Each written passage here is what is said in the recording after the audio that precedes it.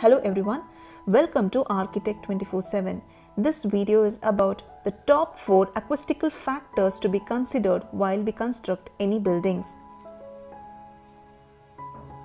The first one is optimum reverberation time.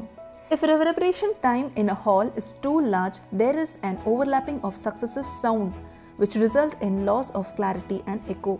On other hand, if reverberation time is very small, loudness is not sufficient. Thus, it is very important that reverberation time in a hall should not be too long or too short.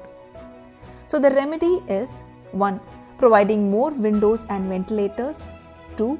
Covering part of the ceiling, wall, and even the back of the chair with suitable sound absorbing materials like felt, fiberboard, glass wool, etc. 3. Using curtains with folds. 4.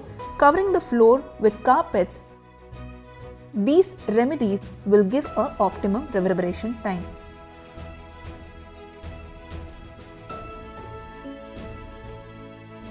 Two, loudness. Loudness is a degree of sensation produced on the ear. If the intensity of the sound is weak, loudness may go below the level of audibility. Sufficient loudness in every part of the hall is important for a satisfactory hearing. The loudness of sound is increased by following ways. 1. To achieve good loudness, maximum reflection of sound from the stage is desirable so that there is no loss of sound energy. This can be done by using a large sounding board behind the speaker. 2.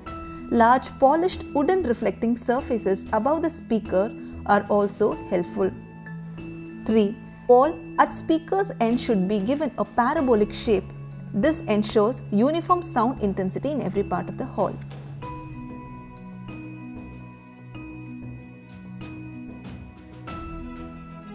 3. Echoes Sometimes when a sound falls on a reflecting surface, it is reflected at a distinct repetition of direct sound. This reflected sound is called an echo. Echoes occur due to the reflected sound waves. They reach the listener a little later than the direct sound, which causes confusion. This defect is common particularly when reflecting surfaces is curved.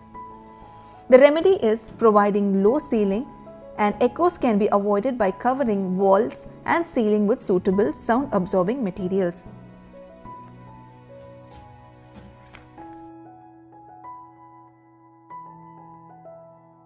Four. Noise. Unwanted sound is called noise. So there are three types of noises like inside noises, airborne noises and structure-borne noises. Some of the remedies to avoid these noises are 1. The use of double doors and windows with separate frame and by placing sound absorbing materials in between them. 2. By allotting proper space for doors and windows. 3. Using heavy glasses in doors, windows and ventilators. 4. By making the hall air conditioned. By this we can reduce the noise. If you like this video, give a thumbs up and hit the subscribe button to receive more such videos in future.